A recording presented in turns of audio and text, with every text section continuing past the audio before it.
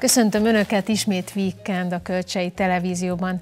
Izgalmas megyei kulturális programokat ajánlunk ma is. Jövő csütörtökön Szent Iváni tűzugrásra várják a látogatókat a Sóstói Múzeum faluba. Jövő pénteken indul és július másodikáig tart a Magyar Színházak Kisvárdai Fesztiválja.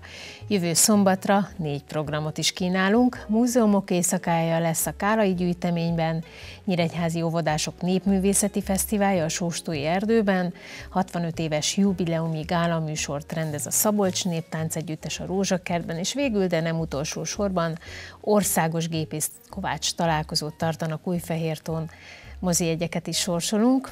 Ismét két darab páros belépő a nyeremény a Cinema City-be. Kérdésünk, hogy hívták régebben június havát? A. Szent István hava, B. Szent Gergely hava, vagy C. Szent Iván hava. A válaszokat ismét a Kölcsei Televízió Facebook oldalán található poszt alá várjuk kommentben, a nyerteseket pedig jövő héten szintén kommentben és üzenetben értesítjük. Már is kezdünk.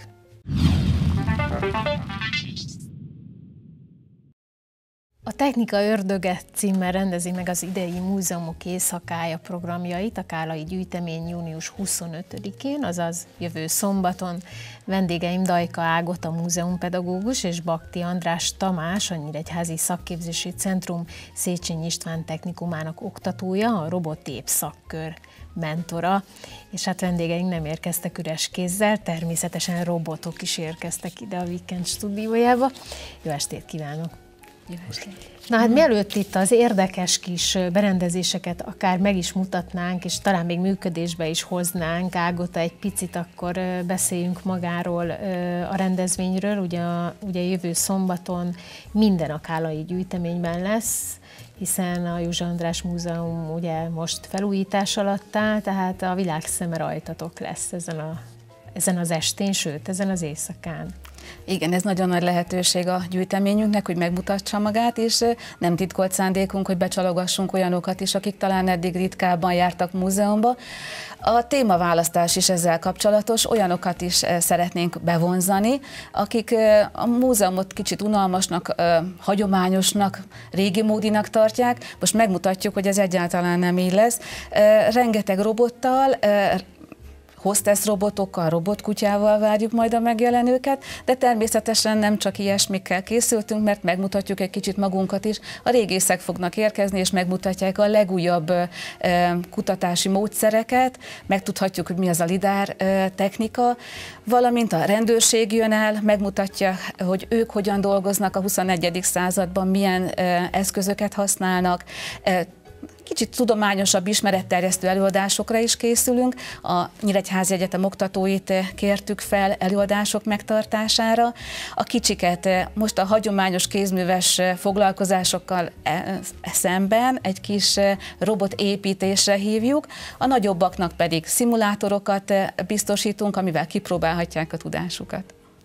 Egyébként is szerintem ma már egy modern múzeum az nem nélkülözheti az elektronikát, illetve a virtuális, akár virtuális kiállítás részleteket.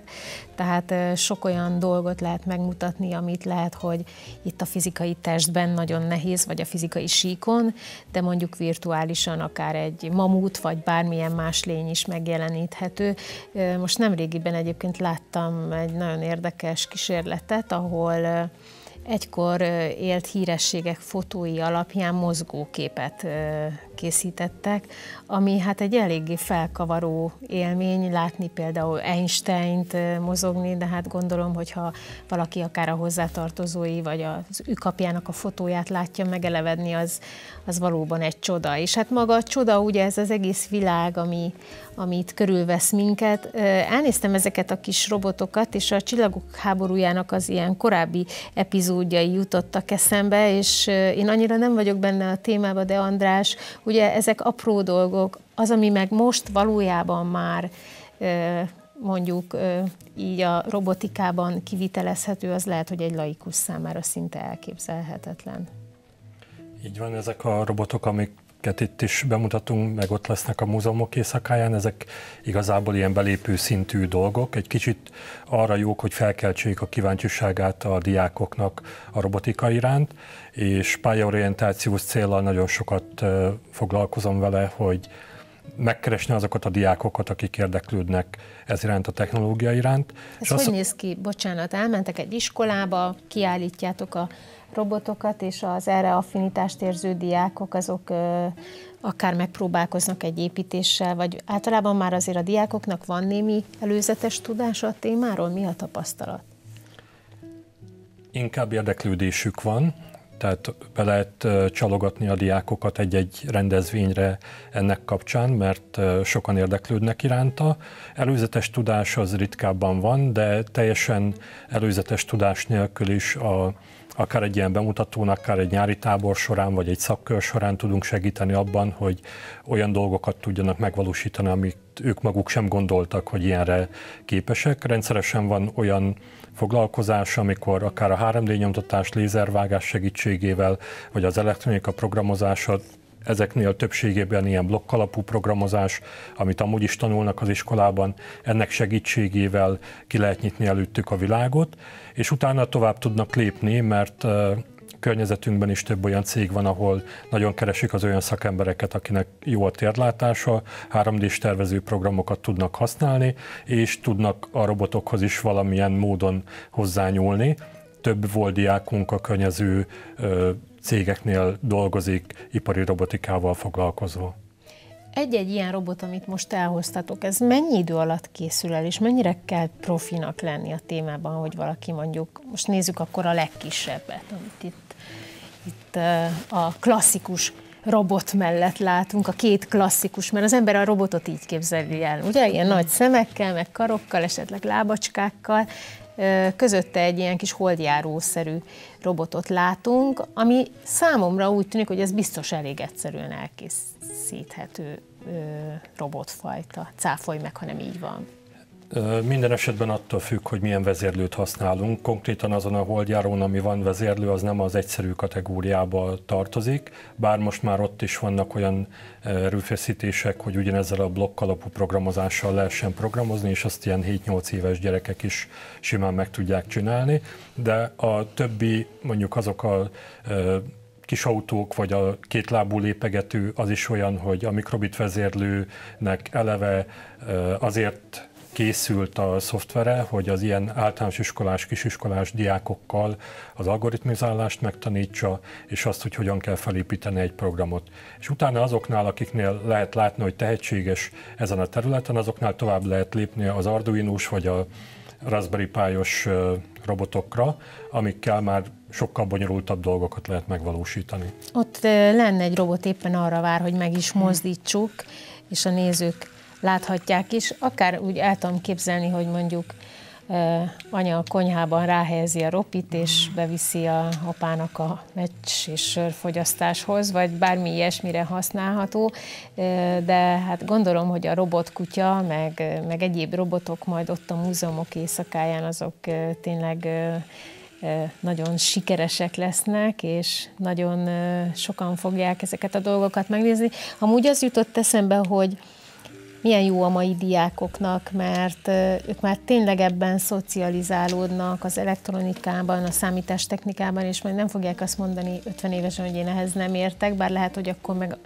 ördögi módon fejlődik megint a technika, és az ember mindig egy picit hátrányba lesz, mert szerintem a 40-50 éves generáció az teljesen ketté vált. Van az egyik része, aki tudja követni és érti, és akár egy okos otthonban is kényelmesen él, és nem okoz neki problémát, és van a másik réteg, akinek, aki ragaszkodik ahhoz, hogyha lehet, akkor hagyományos ö, háztartási gépeket vegyen, mondjuk ö, a mikrója ne programozható legyen, hanem csavarintható. Én sokszor mondom, hogy én jobban szeretem, ha én okosabb vagyok, mint az eszközeim, de a világ azért tényleg nem erről szól, úgyhogy ha legalább a szülők már lemaradtak, akkor a gyerekeik azok legyenek képben. Erre szerintem tökéletes lesz a múzeumok éjszakája. Ágota hány órakor érdemes már kopogtatni a Kálai gyűjtemény ajtaján?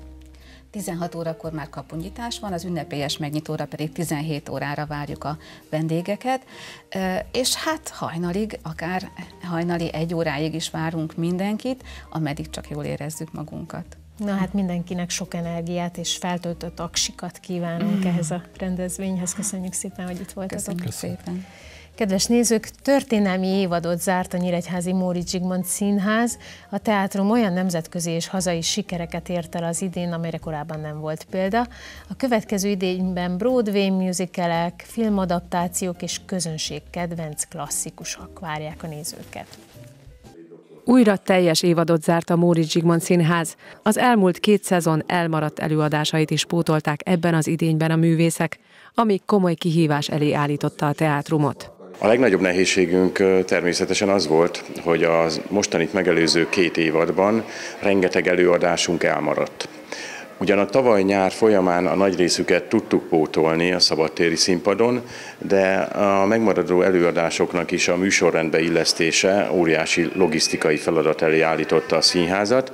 Kicsit könnyített a dolgunkon, hogy a gyerekelőadásainkat egy évaddal korábban már be tudtuk próbálni, tehát ott a próba folyamatok már nem vettek el a, az időnkből, de összességében uh, még most a, a következő héten is uh, fogunk pótolni egy 2020-ban bemutatott nagyszínpadi előadást. A nagyszínpadi és a kamara produkciók mindegyike sikeres volt. Ez abban is megmutatkozott, hogy szinte minden előadás telt házas volt. Közel 80 ezer nézőt azért már a mostani évadban sikerült visszacsalogatni.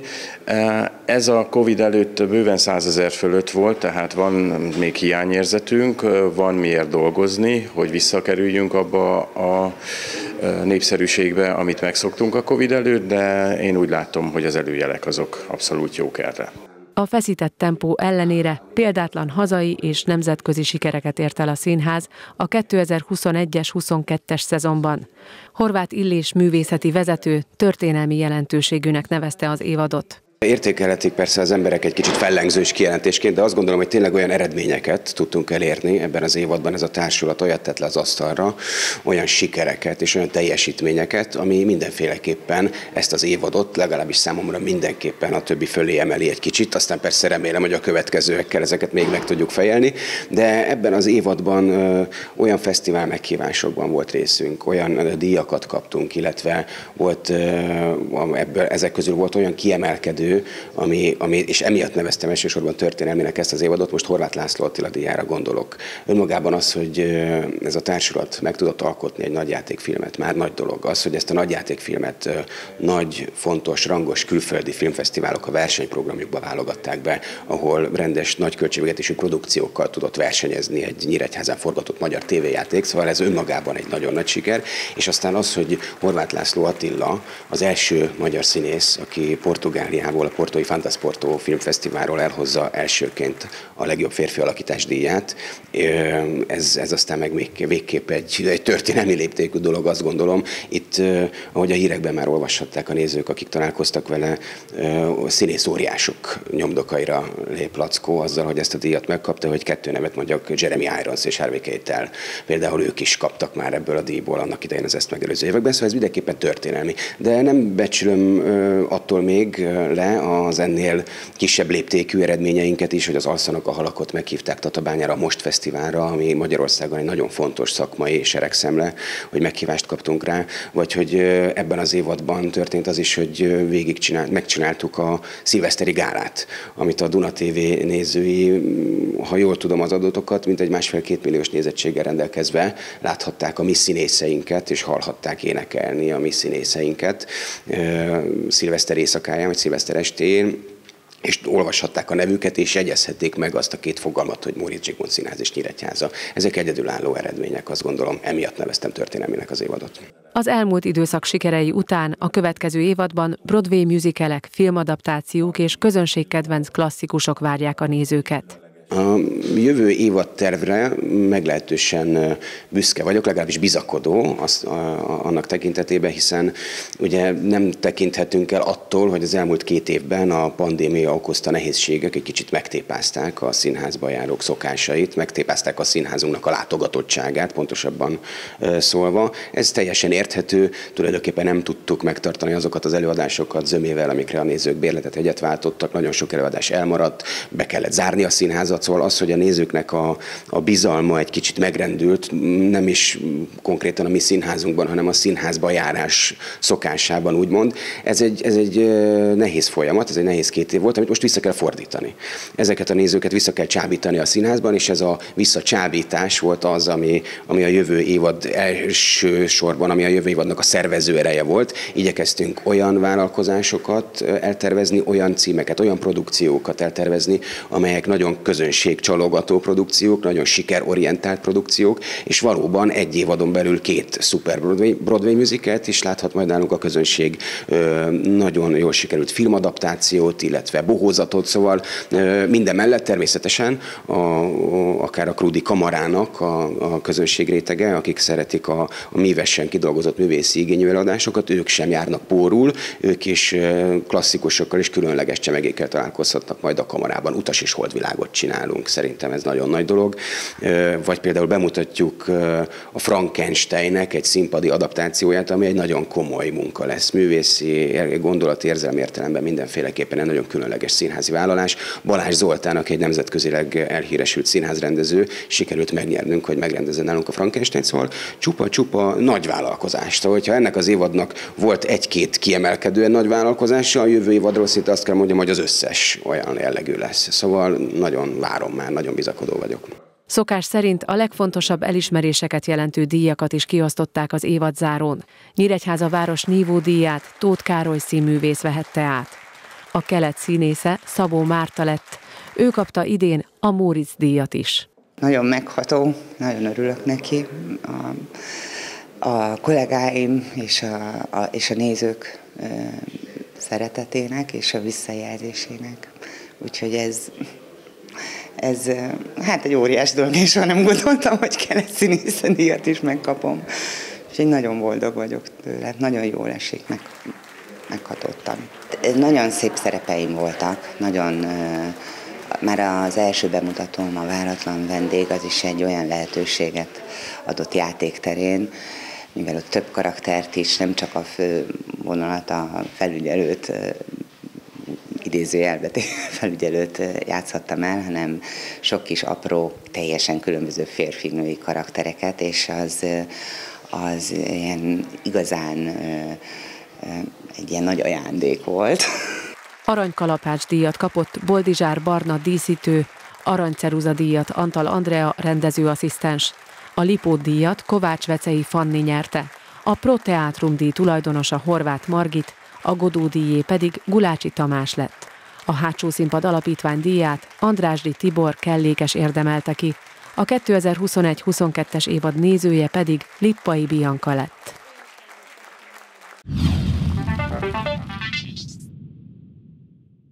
34. alkalommal rendezik meg a Magyar Színházak Kisvárdai Fesztiválját. Idén június 24-e és július 2-a között több mint 20 előadással várják a közönséget. Vendégem Nyakó Béla, fesztiváligazgató. Jó estét, szervusz! Kezdjük sokan. 34. alkalom, nyilván most már ö, nehéz is olyat kérdezni, amire egy fesztiváligazgató ne tudna válaszolni. Ugye voltak azért időszakok, amik eléggé ö, zavartak voltak tulajdonképpen, gondolok itt a Covid-ra, illetve hát nehezített pálya volt.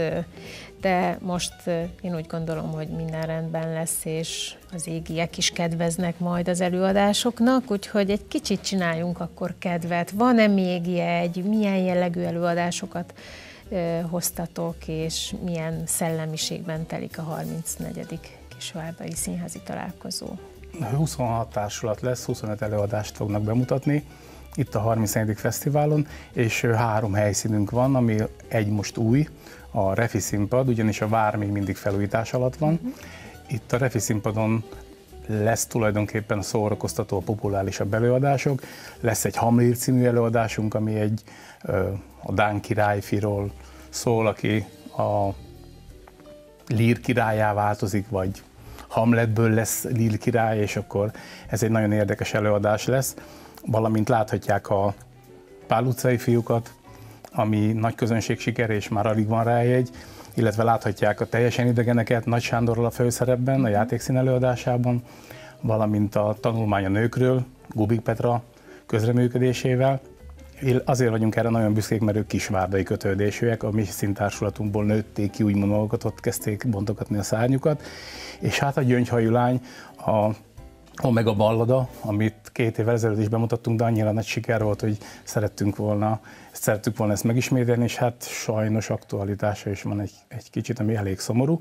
Az egész fesztiválunk most a Covid-ból való kitörésnek szenteljük tulajdonképpen. A színházak is megnyitották kapuikat, nagy létszámmal lehetett most már közönséget beengedni, bár még mindig rányomta egy picit a bélyegét a stúdió jellegű előadások, mert hogy elég sok lesz még most is stúdió előadás, ugyanis hát ez volt a repertoáron. Uh-huh. Mert a Kisvárdai Fesztiválnak az a jelentőség, hogy mindig az évad előadásaiból válogat, mindig a legújabb előadásokat próbálja bemutatni, és aki ellátogat Kisvárdára, az egy keresztmesszetet kaphat a határon túli színjátszás évadjából tulajdonképpen.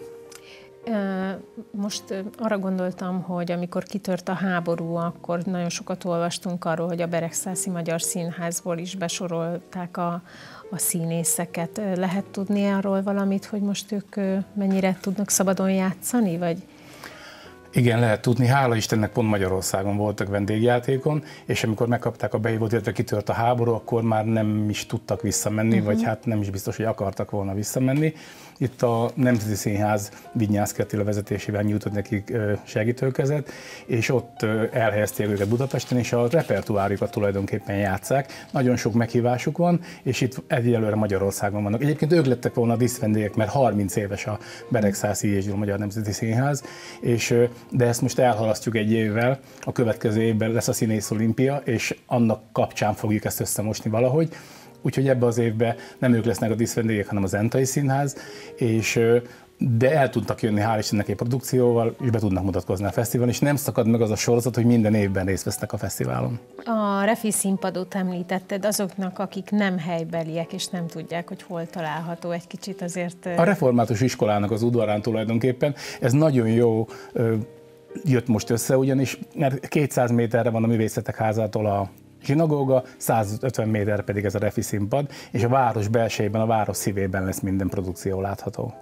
Ezt hogy képzelje el az, aki még soha nem járt ott, hogy, hogy azért nem csak a színházak, illetve az előadás környéke elevenedik, vagy hogy is mondjam, lesz teli élettel, hanem úgy Kisvárda számos utcája is, tehát ilyenkor van egy fesztivál hangulat a színház falain túl is. Igen, annál is inkább, mivel 4-500 fő van folyamatosan jelen Kisvárdán ezekben a napokban. Egy hét előtte már mindent fellobogózunk, transzparenseket kirakunk, megállító táblákat kirakunk, lehet látni minden, minden jel, minden nyíl oda vezet a, a város központba, a város szívébe, és a sétáló utcán is, illetve a a város több pontján is lesznek olyan rendezvények vagy megmozdulások, amiket a, a helyi középiskolák, illetve a iskolák szerveznek. És ennyi színházi társulatot hol sikerül elszállásolni a városnak? Ez is nagy Hát ez nagyon nehéz.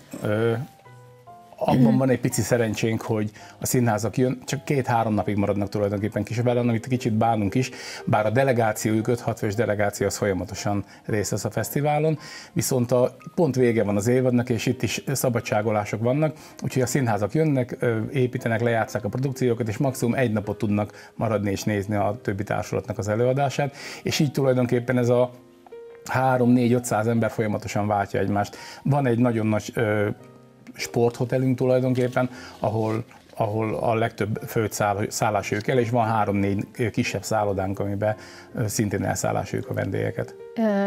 Említetted, hogy tulajdonképpen ugye az idei évad keresztmetszetét láthatják most Kisvárdán. Lehet valahogy behatárolni, hogy ez inkább a, az optimizmus, a vidámság felé hajlik, vagy esetleg egy ilyen dekadenciába, tehát mi, mm, mi az, amiről szólnak ezek a darabok? Így főleg? van, gondolkodtunk mi is, hogy hogy lehetne ezt megfogalmazni, de nem, nem biztos, mert az előadások egy része a dekadenciából kilépés mutatja, de van például a Marosvásárhelyi doktorok előadás, vagy a Szálakauka fészkér, ami, amit ha ismerjük az előadást, akkor tudjuk, hogy egy elmegyógyintézetben játszódik ugyan, de egy vidám, vidám darab, de hát láthatjuk az Öngyilkosok című produkciót, az Élő halottat, Úgyhogy kortás előadásokat is láthatunk, de meg, te megtalálhatjuk a versenyprodukció vagy versenyelőadásokba, a vidámba szórakoztató előadásokat is. Egy picit akkor a zsűriről is meséljünk, illetve hát a díjazásokról. Hát az a fesztiválnak ugyanúgy van fődíja, mint a minden színházi fesztiválnak illetve 3 millió forint értékű díjakat osztunk ki a, a színházak között, illetve egyéni díjazottak vannak még. A zsűri tagjai az Csúly László rendező, aztán Hajdú Imelda színművész, a Debreceni Csokonai Színháznak a tagja, Herceg T. Tamás színész rendező, Török Viora rendező, a Marosvásárhelyi Spektrum Színháznak a, a művészeti vezetője, és Zalán Tibor költő, író, drámaíró, akik most ebben az évben el fogják dönteni, hogy milyen, díjaz, milyen díjakat fognak kapni a színházak. Gondolom, hogy azért ez egy nehéz feladat ilyenkor a zsűrinek, mert hát a színe java jön tényleg akkor az előadásoknak. Igen, és hogyha valaki először találkozik a határon túli színjátszásokkal, egy picit meg is lepődik, mert nagyon sok irányzat, nagyon sok stílust fedezhet fel. Arról meg nem is beszélve, hogy azok a, ott az anyaországban, ahol ők élnek, ott azért a színjátszás mindenképpen rányomja a bélyegét az ő munkájukra is. Tehát valamilyen szinten asszimilálódnak a saját országokban lévő színjátszása. És azért a román, az ukrán, mondjuk a szerb színjátszás azért nem, nem mondhatjuk azt, hogy rossz. Tehát sok, sok minden pozitívumot lehet tőlük tanulni, és ez, ez így ötvöződik a magyar lélekkel, vagy a magyar gondolkodással, és ezt láthatja a közönség, és egy nagyon sok újítást tapasztalhatnak. Egyrészt, másrészt meg szerintem van benne egy olyan őserő, ami a túléléshez kell, vagy olyan, mint valamilyen egy ilyen oxigénpalack, mondjuk egy határon túl élő magyarságát megőrizni kívánó művészember számára, és ez biztos átjön minden előadáson. Erről nem beszélve, hát ebből táplálkozik folyamatosan. A, a magyarságnak a megtartása, a nyelvnek a megőrzése, ez a legfontosabb szempont, ami, ami az alapja az egésznek, és ehhez jönnek rá ezek a szakmai, ezek a olyan művészi ö, meglátások, amiket használnak, illetve alkalmaznak a színházak. Na hát, hogyha igazán szívet melengető és különleges élményeket vágyó színházi élményekre éhessek a nézők, akkor javasoljuk, hogy még próbálkozzanak a jegyvásárlással, hiszen ugye az idő az már nagyon megy. 24-e és július másodika között 25 előadás vár mindenkit. Kisvárdán Béla, köszönjük szépen, és sok sikert kívánunk! Kedves nézők, ezzel véget ért a Weekend első része. Maradjanak velünk a híradó után is, ne feledjék, kettő darab Cinema City egyet sorsolunk. Kérdésünk, hogy hívták régebben június havát? A. Szent István hava, B. Szent Gergely hava, vagy C. Szent Iván hava. A válaszokat ismét a Kölcsei Televízió Facebook oldalán található poszt alá várjuk kommentben, a nyerteseket pedig a jövő héten kommentben és üzenetben is értesítjük teljesítjük.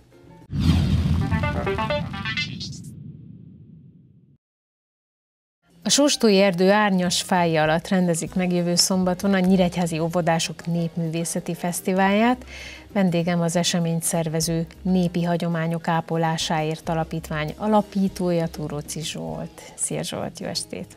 Jó estét, nagyon nagy szeretettel köszöntöm a tévénézőket. Korábban már voltál vendégünk, és beszélgettünk annak idején magáról az alapítványról, hogy mit célból is jött létre, de egy picit elevenítsük föl, hát ha vannak olyan nézők, akik még nem ismerik magát, ezt az alapítványt, és lehet, hogy csatlakoznak, vagy próbálnak majd segíteni valamivel. Egyáltalán lehet ilyet?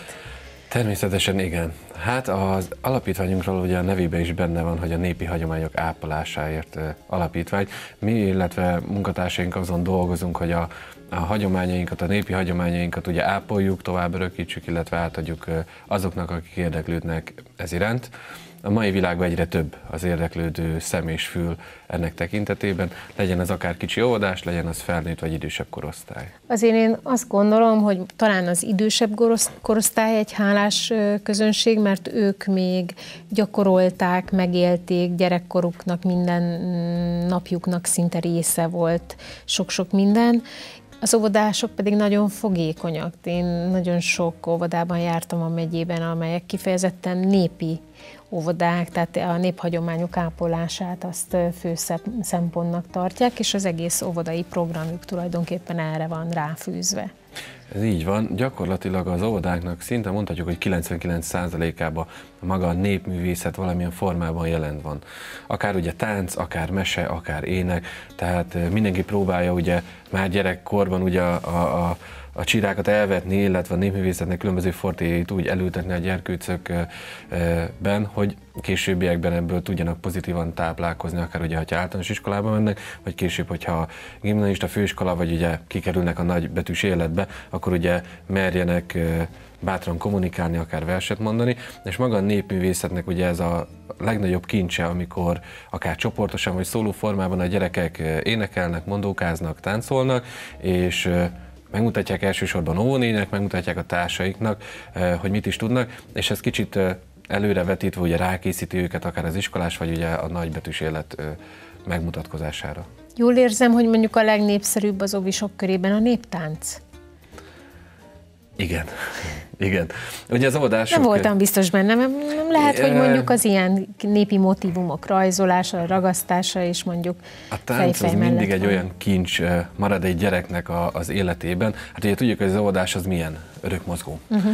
Nem lehet úgymond leültetni, hiába eh, óvodában ugye rákészítik a gyerekeket arra, hogy az iskolás években ugye, hát ott sajnos ülnöm, ülni kell, nem az van, hogy akkor játszunk, amikor akarunk, ezért ugye pici óvodások, illetve hát már nagycsoportosok is erőszeretettel táncolnak, mert olyankor lehet mozogni, lehet ugrálni, lehet fogócskázni, különböző népi játékokat ugye bele lehet tenni, és ugye itt, ha visszatérünk az előbbiekre, igen, ezért is van rengeteg eh, néptánc, illetve egyéb népművészeti foglalkozás az óvodákban, mert a gyerekek erre fogékonyak, ahogy ugye te is mondtad, illetve igényük van rá, hogy mozogjanak, illetve különböző olyan népi játékokat tanuljanak meg, amit régen ugye a nagyanyáink játszottak, mert nekik nem volt más lehetőségük ilyen játékra. A Sóstói Erdő árnyas fáj alatt, ahogy említettük, ott lesz ez a fesztivál, vagy találkozó, de volt már, ugye, egy Igen. ilyen alkalom, azt hol rendeztétek? Azt nyírszülősen rendezték meg tavaly az első uh, ilyen kis óvodások népművészeti fesztiválját. Igazából a célunk az az volt, illetve az a célunk ezzel, hogy ugye rengeteg óvodában, szinte 99%-ban van valamilyen népművészeti uh, program, és ezeknek a gyerkőcöknek nagyon sok megmutatkozási lehetőségük anyáikon, illetve az óvónőkön kívül nincs, sajnos uh-huh. nincs. Ugye az iskolásoknak már egyre több, akik művészeti iskolába járnak, van különböző olyan művészeti verseny, ahol el tudnak menni, de óvodásoknak vagy nincs, vagy nagyon kevés, szinte alig. És arra gondoltunk elnök asszonyjal, hogy csináljuk meg, legyen egy olyan népművészeti verseny, legyen egy olyan kis fesztivál, ami csak az óvodásokról szól, amikor az óvodás eljöhet, megmutathatja nem csak anyáiknak, hanem bárkinek, aki kilátogat a többi oda. Óvodásnak Így például? van, vagy ugye a többi olyan óvodásnak, akik ugye a város különböző pontjain helyezkednek el. Na és akkor most hány ovist, illetve hány óvodából ö, vártok fellépőket ide erre a fesztiválra? Hát erre a fesztiválra több mint 150 jelentkező érkezett, ebbe ugye vannak csoportosak, vannak szólók, vannak akik egyéniben lesznek. Ugye lehetett nevezni többféle formában, lehetett tánccal, énekkel, mesével, akár tárgyalkotó népművész, népművészettel is. 150 mm, fölött van már a létszámunk, de ugye ez folyamatosan jönnek még a jelentkezők, akik későn kapnak úgymond észben, és még szeretnének jelentkezni. Akkor szerintem ez egy maratoni rendezvény lesz, ugye el tudom képzelni, hogy kora reggeltől késő délutánig szól az ének, és ropják a táncot a, az erdei tornapályán, ugye? Ott, Így van, ott lesz megrendezés, vagy ott rendezitek meg, ott van egy hatalmas színpad, tehát nyilvánvalóan a táncos produkciók ott lesznek, de gondolom, hogy egyéb kísérő dolgokkal is készültök, tehát lesznek-e mondjuk kirakodók, vagy, vagy népi iparművészek, vagy tudnak-e még valami különlegességgel foglalkozni az oldások, amíg éppen nem lépnek föl? Az első ilyen kis fesztiválunkon is rengeteg egyéb programokat szerveztünk. Az első fesztiválon visszajelzés volt, hogy csináljuk mindig a város különböző pontjain a második, harmadik, negyedik, ötödik kis fesztiválunkat, mert ilyenkor ugye az óvodások szívesebben mennek másik város részre, ahol ugye tudják úgymond fogadni a, a többieket. Tavaly ugye nyírszülőségek fogadták a város óvodáiból érkezőket, most ugye Józsaváros kapott főszerepet, így az erdei tornapályát választottuk ki, mert az a helyszín a meleg megfelelőbb ugye ennek a megrendezésére. Itt a színpad ugye gyakorlatilag adott, a színpadot ugye tavaly is volt színpadunk, és ez fontos az óvodás szempontjából, mert föllép egy színpadra, és ott ugye meg tudja mutatni egyedül egy nagy színpadon, ugye ha szóló van, akkor uh-huh. egyedül meg tudja mutatni a maga kis tudását. Ez tavaly évben nagyon nagy sikerrel zajlott. Ilyenkor mindenki rendszerint ugye kíváncsi a másikra is, kíváncsi a másik csoportra, nem csak óvónéni, hanem ugye maga az oldás is. Hát itt ugye több mint 150 nevezés érkezett eddig, hát ha mindenki az ugye számolunk egy testvért, meg egy szülőt, akkor ugye már a létszám közel 500 főre tehető, de hát ugye vannak olyan érdeklődő szempárok, idősek, akik csak azért jönnek, mert gyönyörködni szeretnének ugye a fiatalokban.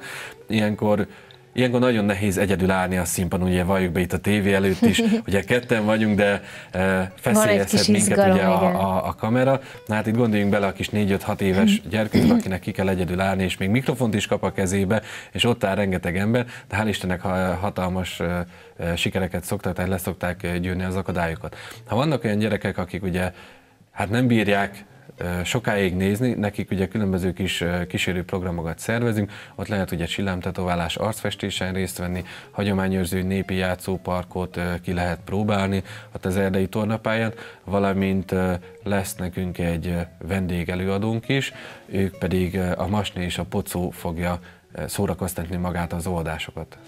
Zsoltát nagyon szépen köszönjük. Hány órára menjenek azok, akik csak gyönyörködni szeretnének? Mikor kezdődik a, a megnyitó az 9 óra 45 perckor kezdődik, és gyakorlatilag onnantól miénk az egész nap. Sok sikert és jó mulatást valamennyi fellépőnek és a, természetesen a látogatóknak is. Kedves nézők, idén 65 éves a Szabolcs Néptánc Együttes, az évfordulóra gála műsorral készülnek, melynek a Nyíregyházi Rózsakert szabadtéri színpad ad otthont június 25-én este.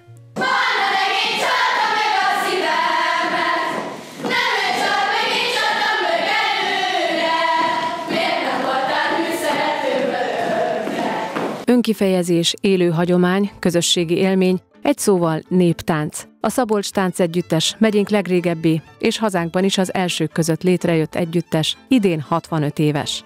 A jeles évfordulót gála műsorral ünneplik, melyre hónapokkal ezelőtt gőzerővel kezdtek próbálni. A Szabolcs Néptánc Együttes Holdudvarában véleményünk szerint körülbelül 2-3 ezer fő közti táncos volt a 65 év átfogásával.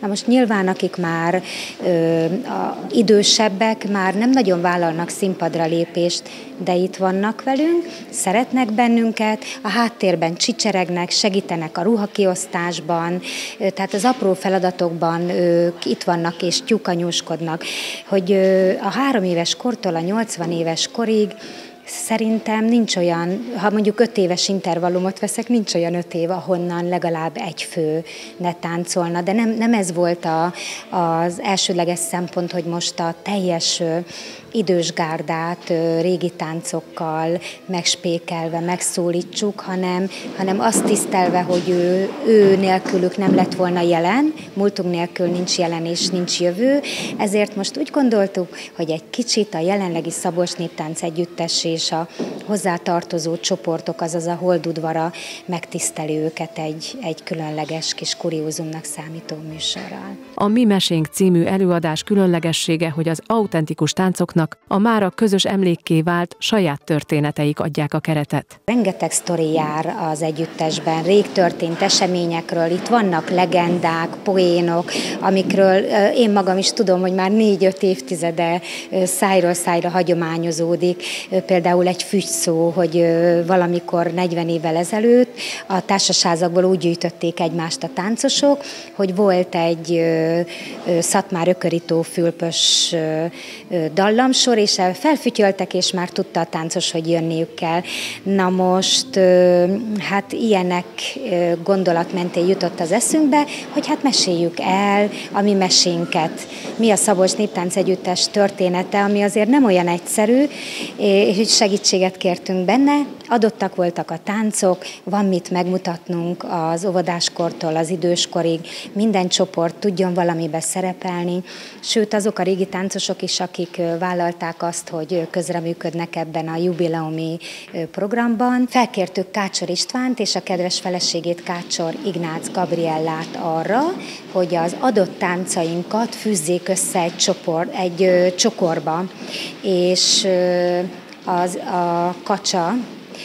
az szenzációs ötletekkel állt elő, míg a felesége megvállalta, hogy elkészíti a magát a mesét, hiszen nagyon jól ismernek bennünket, évtizedek óta többször dolgoztunk együtt, számos koreográfiát készítettek nálunk, a Nyírségtánc Együttesnek hosszú intervallumban ők voltak a művészeti vezetői, tehát pontosan ismerik az együttesnek az összetételét, egyéniségét.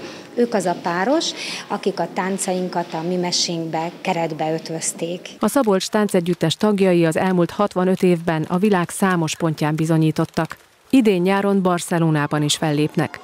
Ez a perdülő utánpótlás csoport. Az egyik vezető pedagógusa általános iskolás kora óta tagja a táncegyüttesnek. Ma már ő készíti fel a fiatalokat, akik a közelmúltban több aranyminősítést is szereztek produkcióikkal. Szerinte az elmúlt évtizedek alatt egy dolog nem változott. A mai fiataloknál is a közösséghez tartozásban rejlik az egyik legfőbb megtartó ereje ennek a társulatnak. Három héttel ezelőtt a Pujabálon szerepeltünk, ott aranyminősítést értünk el, illetve pünköst hétfőn a regionális, Örökség Regionális Néptánc Fesztiválon. Ott arany minősítése mellett a viselet megkomponálásáért kaptunk egy külön díjat. Nagyon sok lehetőség van, sportolási lehetőségek, egyéb elfoglaltságok. Mi úgy látjuk, hogy becsábítani nehéz őket, hogyha zsigélőket ide vonzani, akkor utána már nem nagyon akarnak más csinálni, vagy ha csinálnak is mellette, de, de szívvel, lélekkel itt vannak. A Szabolcs Táncegyüttes 65 éves gáláján három évestől a 80 évesig közel 200 táncos áll majd porondra. A Mi Mesénk című jubileumi előadást június 20 25-én, szombaton este 7 órától láthatja a közönség a Nyíregyházi Rózsakert szabadtéri színpadon.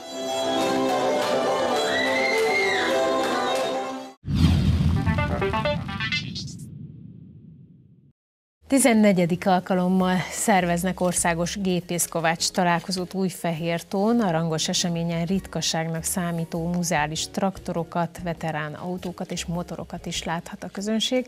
Vendégem Szilágyi Péter, magángyűjtő, a rendezvény megálmodója és tulajdonosa, valamint Szilágyi Norbert, a rendezvény másik motorja, aki szintén gyűjtő, és a névrokonság sem véletlen kezemben pedig a meghívó, amelyből látom, hogy aztán elég gazdag lesz a program, ugye? Mert hogy csupa apró betűvel is szerintem nehéz volt felsorolni annyi mindenkit, aki ezen a rendezvényen majd megtalálható, és ugye lassan jubileum lesz, jövőre 15 is lesz, Péter? Reméljük, hogy, hogy lesz, rajtunk nem fog múlni biztosan. Eddig folyamatosan meg tudtuk rendezni, 2009 óta megy ez a találkozó, országos gépészkovás találkozó, és hát amíg bírom, ugye csinálom, szervezem, de hát én ebben a stúdióban már voltam korábban egy idős gyűjtővel, hát szerintem annak van vagy nyolc éve, Tiszalökről a, Tóth a néhai Tóth Imre bácsi, és hát most a következő generáció, ugye Imre bácsi balomon, virtuálisan vagy elképzelve jobban, jobban van a fiam, és akkor én abba bízok, hogy majd fiatalok viszik jövő. tovább. Norbi, te hogy emlékszel? Gondolom, hogy így belenőttél ebbe a történetbe, tehát most már azért tudsz nosztalgiázni, hogy az első emlékeid mondjuk miről szólnak. Gyakorlatilag igen, mondhatjuk, hogy belenőttem. Én eh, visszagondolva egészen pici gyerek voltam, amikor édesapámnak volt egy eh, panóniája, egy oldalkocsis, és emlékszem, hogy ilyen három-négy éves lehettem, amikor ezt a motort először vezettem. Illetve ezután sokat hallottam ezekről a veterán gépekről, a stabil motorokat tekintve, amik ugyancsak ugye szép számmal képviseltetik magunkat a, a találkozón, egy BL12-es motor volt az első, amire emlékszem, és nagyon megfogott, hogy be kellett tekerni kézzel, a füst, ami jött belőle, a hangja, a mozgása. Tehát gyakorlatilag ezt nem lehetett kikerülni, hogy most itt ülj a édesapád mellett, és, e... és tényleg motorja légy ennek a rendezvénynek. Igen, nem lehetett kikerülni, és bízom benne, hogy az én kisfiam is tovább fogja vinni ezt a szép hagyományt. Hogy lehet ezt, meg lehet ezt fogalmazni, hogy milyen érzés, amikor ott ennyi ö, hasonló érdeklődésű ember különleges ritkaságok között eltölt egy napot? Hát ö, azt hiszem, hogy talán, talán mondhatom egy, egy picit önzés is, mert, mert én ezeket a dolgokat nagyon szeretem kicsikoromtól kezdve, illetve hát ugye nyilván a múltunknak a szerves részét képezik ezek a mezőgazdasági mezőn, mert a mezőgazdaságban használták azokat a stabil motorokat, gőzgép is látható lesz a rendezvényükön. Egyébként ugye ő a jellemzően cséplőgépeket hajtottak vele legtöbbször az ilyen kisebb teljesítményűekkel.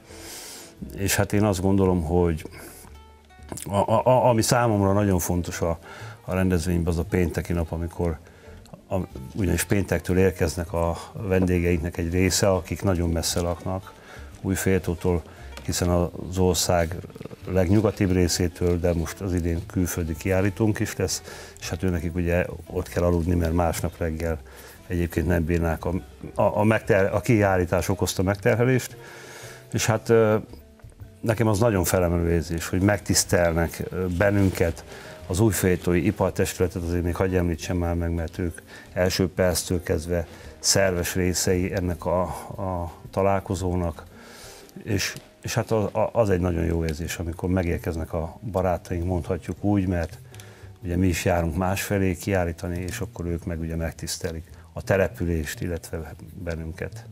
Hol, hol lesz maga a találkozó, és akkor hogy kell ezt elképzelni, hogy milyen lesz a program, mi mindent láthatnak, hogyan telik majd a nap? Ez június 25-én szombaton kerül megrendezésre ez a találkozó, Újfehértó főterén. A ünnepélyes megnyitóval fogunk kezdeni, 9 órakor. A, lesznek az idén kurens fellépőink, az egyik mókus Európa és világbajnok Street Fighter motoros lesz.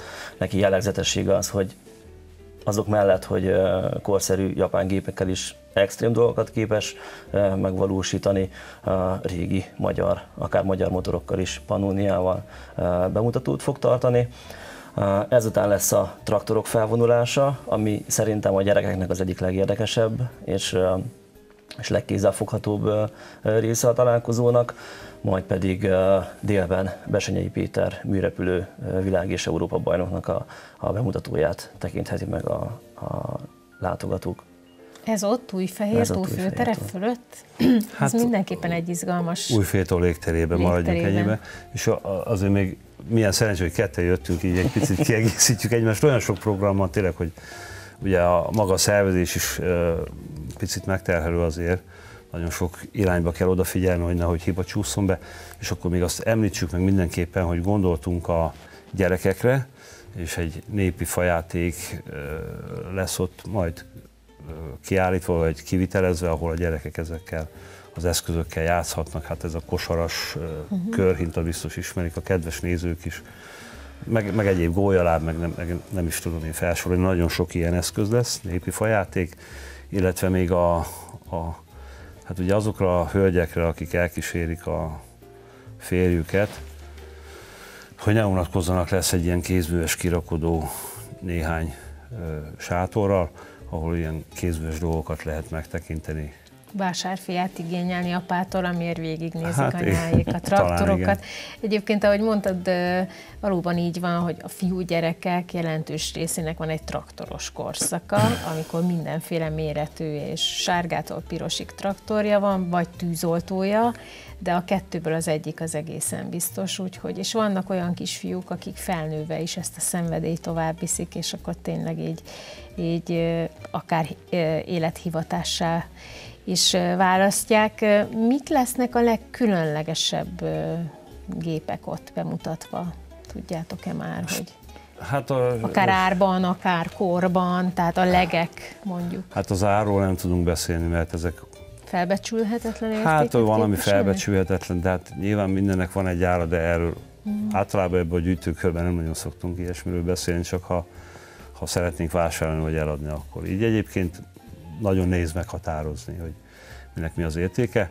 Az elmondható, hogy a Henry Franz lokomobil az a mi tulajdonunkat képezi, ő 1919-es évjáratú, de a stabil motorok lesznek a legidősebbek.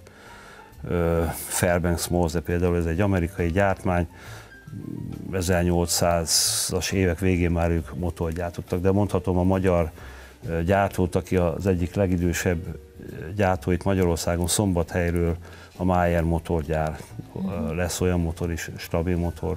Ő is a 19. század végén kezdte el a, a motoroknak a gyártását, de hát nyilván reprezentálni fogja az akkori, elsősorban a második világháború előtti gépgyártásunkat, a Hoffer traktorok, stabil motorok, mezőgazdasági eszközök kézihajtásúak, ugye gondolok a kukoricamorzsolóra, kukoricadalálóra, a, aztán ugye a másik nagyot, a kűnét is említsük meg, Kűne ugye 1856-ban alapították, hál' Istennek még ő működik, és hát széles paletta lesz itt a traktorokból egészen.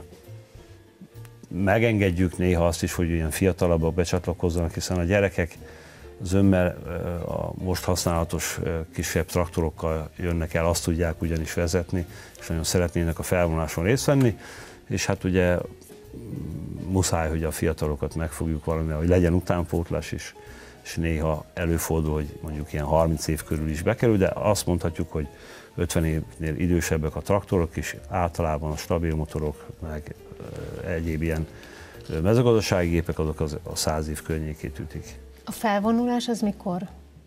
Mikor van időben? 10 óra. 10. 10 óra, óra magasságában. Szóval Igen. akkor nem kell megijedni, nem katonai járművek hajtanak végig ott Újfehérton, hanem hanem ezek a gépek. Mezőgazdasági, mezőgazdasági gépek. Nos, hát én szívből gratulálok, és várjuk a 15-et is. Traktorokkal és egyéb gépekkel, és nagyon klassz időt kívánunk, mint ehhez sok látogatót. Köszönjük szépen, meg a lehetőséget a Költségi Televíziónak. Nagyon szívesen máskor Köszönjük is. szépen. Kedves nézzük, a nyár legvarázslatosabb éjszakájára várják a szerelmeseket a Sóstói Múzeum faluba. Június 23-án, azaz jövő csütörtökön, Szent Iván éjjelén a hagyományos tűzugrás mellett időszaki kiállítás, tűzzsonglőrök, csillagfürkészés és nagy koncert is lesz a programok között.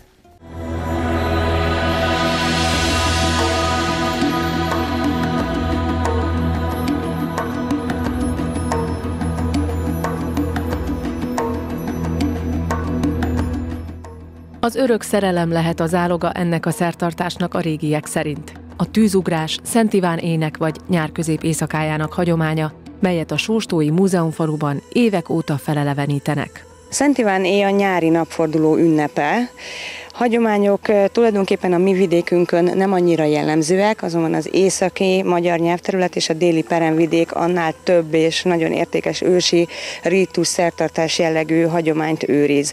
A legfontosabb a szertartásos tűzgyújtás. A tűznek ereje van. Az éjszaka meggyújtott tűz, a lobogó fákja, az önmagában erőt sugároz, hogyha ezt a falu népe a határba kivitte és körbejárta azokat a területeket, amelyen gazdálkodás folyt, akkor úgy gondolták, hogy a gonosz, a rossz az távol marad ettől a területtől, vagy ezektől a területektől, és ezáltal a termény, a hétköznapi élet gazdagsága az biztosított. Maga a tűz gyújtás is nagyon fontos eleme volt ennek a szokásnak. A lányok a tűzhöz szükséges fát, vagy más egyéb eszközöket háromszor körbejártak, aztán utána ezt a farakást szentelt vízzel meghintették, utána következett egy legény, aki lobogó fákjával gyorsabban körbekerülte magát a farakást, majd pedig látványosan meggyújtotta. Énekeket énekelve megvárták, amíg a tűz mágiaszerűsége tulajdonképpen parázsá válik, és ott kezdődött a tűzugrás. A szólás is mondja azt, hogy hosszú, mint a Szent Iváné nóta. És ez így is van, mert hogy bizony a szertartásos tűzugrásnak sora volt. Ki, mikor, kivel ugorhatta a tüzet, ki is énekelték. Számtalan északi nyelvterületen lévő zoboraljai, menyhelyi gyűjtés van, ami gyönyörűen fogalmaz erről a, az éjszakáról, hiszen a szerelmes párokat összekommendálták, összeénekelték, hiszen hogyha ez énekben, szóban elhangzott, látványban megtörtént, akkor úgy gondolta mindenki, hogy ez valóban örök életű lesz, és itt valóban arra az örök életre gondolunk, ami nem csak itt a földi létben jellemző, vagy nem csak ebben a földi létben van jelen.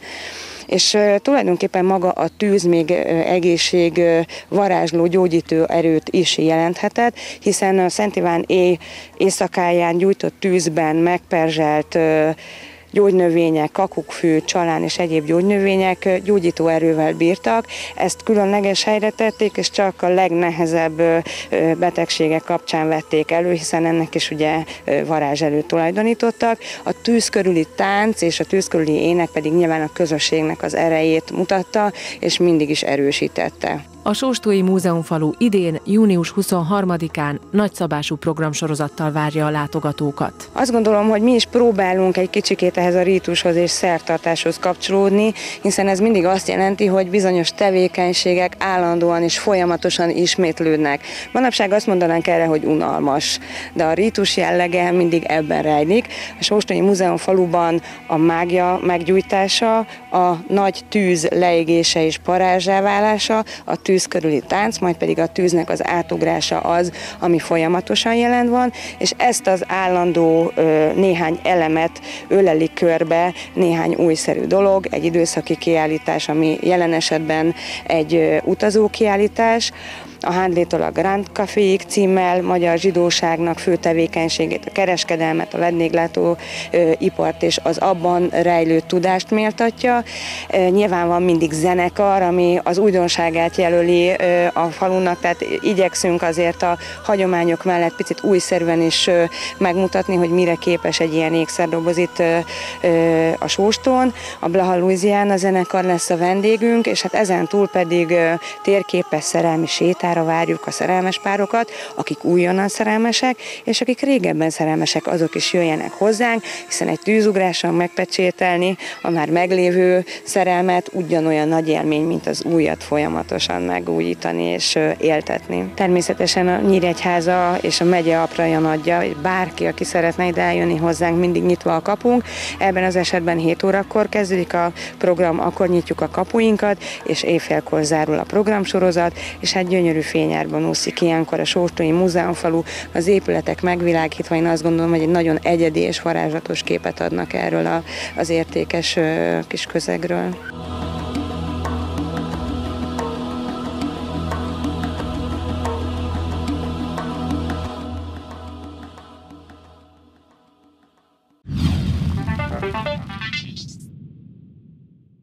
Köszönjük, hogy velünk tartottak. Most is ne feledjék, kettő darab Cinema City egyet sorsolunk. Kérdésünk, hogy hívták régebben június havát? A. Szent István hava, B. Szent Gergely hava, vagy C. Szent Iván hava. A válaszokat ismét a Kölcsei Televízió Facebook oldalán található poszt alá várjuk kommentben, a nyerteseket pedig jövő héten kommentben és üzenetben is értesítjük. Töltsék kellemesen a hétvégét, jövő héten is várjuk Önöket viszontlátásra.